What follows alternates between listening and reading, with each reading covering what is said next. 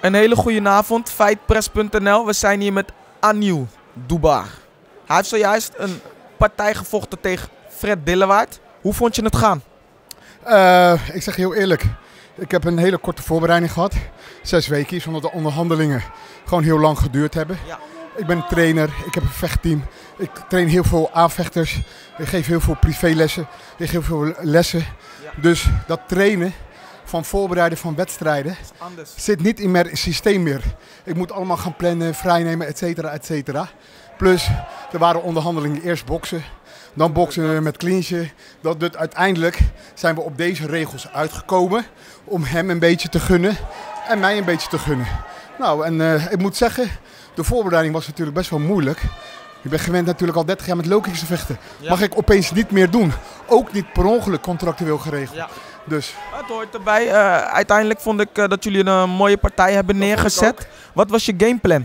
Mijn gameplan was sowieso het lichaam te bestoken, logisch. En dan eigenlijk het hoofd te vinden met het been. Ja. Snap je?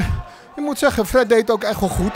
Fred kent met boksen goed de wedstrijd in en uit Ja. stappen. Dat zag je. Dus het was moeilijk het hoofd te halen met de been, maar wel het lichaam. En dat uiteindelijk Wat was ik- dat de sleutel van de wedstrijd. Wat ik wel heb gezien is dat je een paar keer goed doorkwam met die voorwaartse trappen. En op een gegeven moment zag ik dat hij een beetje daar last van Ja, maar En... Je moet natuurlijk altijd voorzichtig zijn. Op het moment dat je die voorwaartse straf geeft. Ik heb natuurlijk al heel veel ervaring Ja. met mensen coachen, wedstrijdvechten Ja. op allerhoogst niveau. Zelf wel 30, 35 partijen gevochten. Op het moment dat je die rechtse voorwaartse geeft en iemand hebt er echt zichtbare last van, dat hij zeg maar daarna voor de opening Ja. open is, kan je verder. Maar hij had weer niet zoveel eh, last dat hij Dat niet kon counteren. Ja, Snap je? Dus dat kan ik wel doen en dan gaan man. Dan vangt hij me op. Hij is natuurlijk een bokser. Hij staat natuurlijk pittig.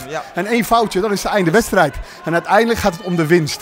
Zeker En ik ga met de winst naar huis. Dat is waar. Punt. Wie wil je bedanken?